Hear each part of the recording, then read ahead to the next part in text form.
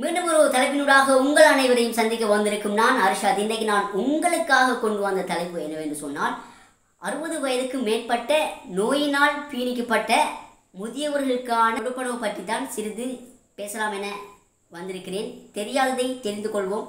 பாருங்கள்.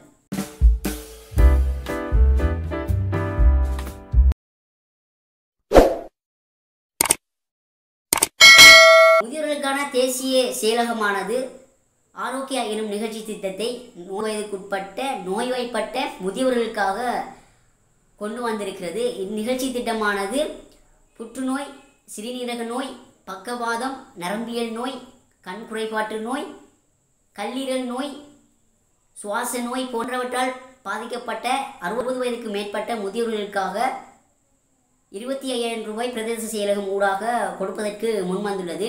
இதில் நீங்களும் அல்லது உங்களுடைய பெற்றோர்களும் பாதிக்கப்பட்டிருந்தால் நீங்களும் இன்றே விண்ணப்பிக்கலாம். விண்ணப்பிப்பதற்கான தகமைகளாக மாதம் ஆறாயிரம் ரூபாயை விட குறைந்த வருமானம் பெறுவர்களாக இருத்தல் வேண்டும். யாரெல்லாம் விண்ணப்பிக்க முடியாது என்று சொன்னால் அரசாங்கத்தினால் பென்ஷன் எடுக்கின்றவர்கள் விண்ணப்பிக்க முடியாது. அது மட்டுமல்லாமல் செல்வந்தர்களும் இதில் விண்ணப்பிக்க முடியாது. மற்ற ஏனைய அனைவரும் விண்ணப்பித்துக் கொள்ள முடியும். இன்றைய நீங்களும் விண்ணப்பித்துக் கொள்ளுங்கள்.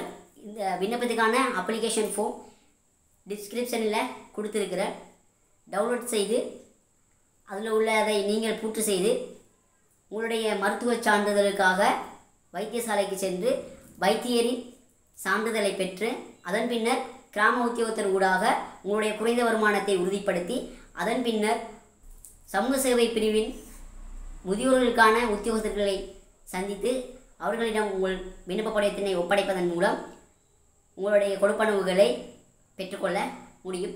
இதில் ஏதாவது உங்களுக்கு சந்தேகங்கள் இருந்தால் கமெண்ட் பாக்ஸில் கமெண்ட் செய்யுங்கள். இல்லை என்று சொன்னால் என்னுடைய வாட்ஸ்அப் இலக்கத்துக்கு மெசேஜ் செய்யுங்கள். பிடிச்சிருந்தால் லைக் பண்ணுங்கள் ஷேர் பண்ணுங்கள் மறக்காமல் சப்ஸ்கிரைப் பண்ணுங்கள் மீண்டும் ஒரு தலைப்பினூடாக உங்கள் அனைவரையும் சந்திக்கிறேன்.